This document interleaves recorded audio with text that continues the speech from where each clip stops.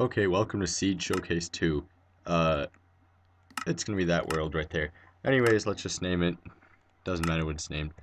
Uh, there's the seed, it'll be in the description, don't worry.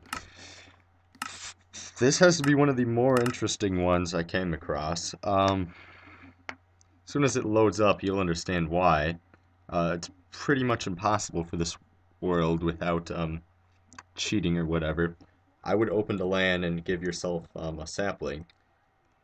But pretty much there is no land. See, now what I would recommend doing is just um, slowly mining out the stuff, or getting enough dirt, and then just getting a small, a decent sized platform to live on like this. Uh, what do you eat? Apples, I guess. Um, uh, let's see. Make sure my mini map is zoomed out all the way. Yeah, as you can see, there is no land, and um, it's it's like a 20 chunk radius or 10 chunk radius.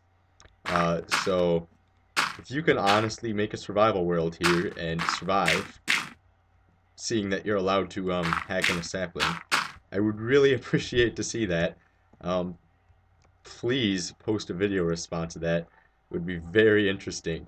See if anyone could honestly um, have the patience to do this. I, mean, I suppose if you get like a carrot off of a zombie or something, it'd become easy, but... Uh, anyways, thank you for watching the video. This is Zach from ZipJ Gaming, and goodbye.